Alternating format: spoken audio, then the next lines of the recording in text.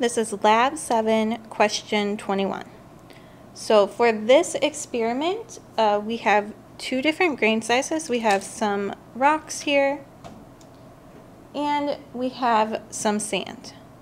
So what I'm going to do is I'm going to pour the sand out into this pan, and I'm going to pour the rocks out into the pan, and then we're going to use our goniometer to measure the angle of repose for each of these two things. So first I'll start with the sand.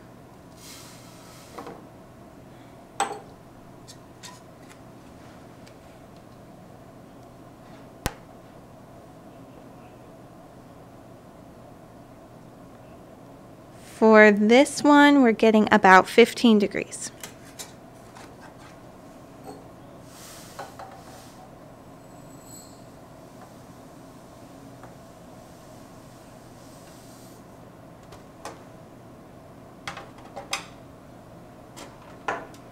And here is the gravel.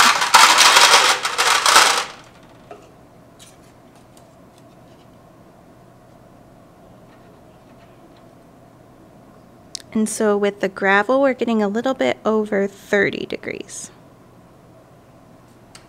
So what does that tell us about different grain sizes and angle of repose?